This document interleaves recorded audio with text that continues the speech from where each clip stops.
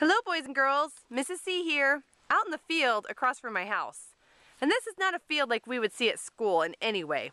This isn't a field of solid grass that's really flat at all. If you notice, there's sagebrush, there's dirt, there's big boulders, there's little rocks, there's hills, there's some flat areas. It's just a very unique kind of field. And this kind of field is where we would normally find a cottontail in its natural environment. And a cottontail rabbit likes this area for a lot of different reasons. One of those reasons is that it would be pretty easy to hide in something like this, don't you think? Because in a field of solid grass, a rabbit would kind of have to be green to just blend in and be hidden. But here, they can hide behind things and in things, and we'd never really see it unless it jumped out at us. The second reason the cottontails like to live out here is because there's lots of food for them. Stuff that we wouldn't typically think would be yummy to eat, like these tall weeds and things, the cottontails probably would enjoy for a snack. And then the third reason the cottontails like to live out here is because there's lots of space for them. They can build their burrows in the ground and they can spread out and they can hunt and find food and bring it back and it's just a nice environment for them to have their families and be able to have lots of room. So I brought my own little helpers out here with me to look for, say hi. Hi. To look for some cottontail rabbits. And you'll notice they're kind of blending in themselves. They're like little camouflage. Wave over there. Oh, there they are.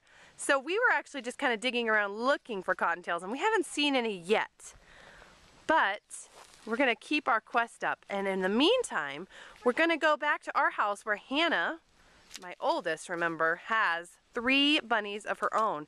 We're going to talk about some of the things that are unique on their bodies that make it ideal for them to live out here in this type of field. So we'll see you in just a bit.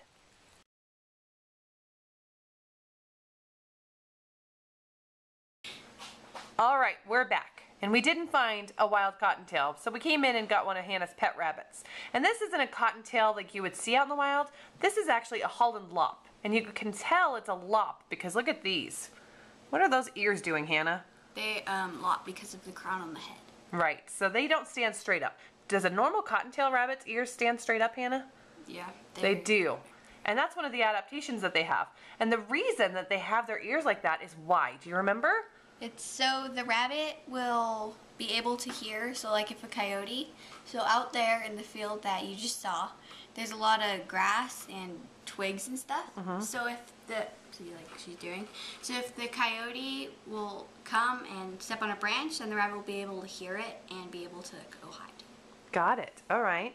And she's also got something unique in her mouth. Can you show us what's in her mouth? Can I show her, her what's in her mouth? Can I show her what's in her mouth? Can See, I? so Emily's gonna help me. Emily, show her teeth. Ooh, nifty. And those are some big chompers. Why are the rabbit's teeth so big? I don't. What do you think?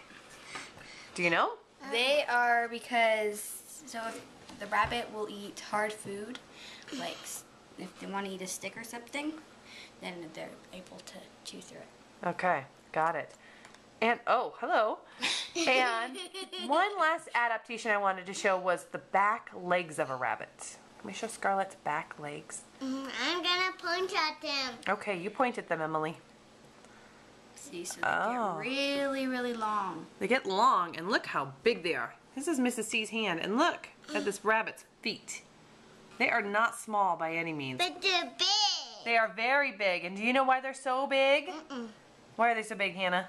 They are big so the rabbit is able to hop. Right, so if a predator comes, those big powerful back legs are going to make sure that Scarlet can hop away super duper fast and get away from that predator and get back to her burrow to save her family. So the only last thing I wanted to talk about was the coloring. Now Scarlet is what's called a black tortoise.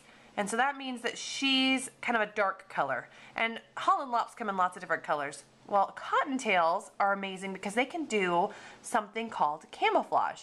And we sort of talked about that earlier in the year where you blend into your environment. And what a cottontail will do is they'll go from a solid white color in the winter when there's lots of snow to a darker brown color in the fall and spring and seasons like that where they can blend into the dirt and the things around them.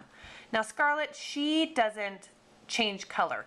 You can tell that her hair changes a little bit. That's called molting. So that's where she sheds and she loses some of her old fur and gets some new fur, but she'll never really change to a different color. But what's neat about a cottontail is that they can do that and it keeps them safe from predators. So those big giant feet, those big giant teeth, and that fur changing color, those are just a couple of the really cool adaptations that rabbits have made to live in the wild.